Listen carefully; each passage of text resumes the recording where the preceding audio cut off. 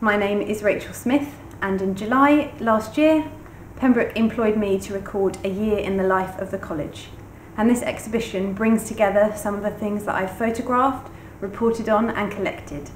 I think for me, putting together this exhibition has really shown the variety of the things that take place in just one year at Pembroke. For the main part of the exhibition, I've put together a timeline which shows you some of the key things that have happened this year, and that's everything from the Tour de France to the Tompkins table, Freshers Week, gingerbread chapels, the Cuppers football final, a visit from Carluccio, our open days, rowing, dinners, and plenty more. There's so much variety and diversity in what goes on here, from our undergraduate and graduate students to the activities of our fellows and our staff, and also our alumni, and all the other communities that make up the family that is Pembroke. I've also got a collection of objects that reflect some of the things that have happened. We've elected a new master, we've seen another generation of students come and go.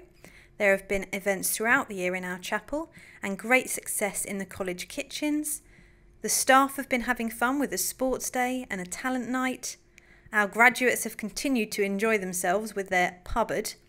Our head gardener, Nick Furman, reached 50 years of continuous service at the college. The maintenance department continued to fix all manner of things and unearthed some interesting objects in a clear out of the basement. Many of the student societies, including the Stokes Society, have been extremely successful, and one graduate student even managed to cycle around the world. Our housekeeping department have donned their marigolds, and our alumni have published an impressive range of books. This year we've been marking the centenary of the beginning of World War One. We've also had a series of events called Pem Women at 30, marking 30 years since women were admitted to the college as students. It's 350 years since the consecration of the chapel, so there's been lots to remember, lots to celebrate, and there's plenty to look forward to.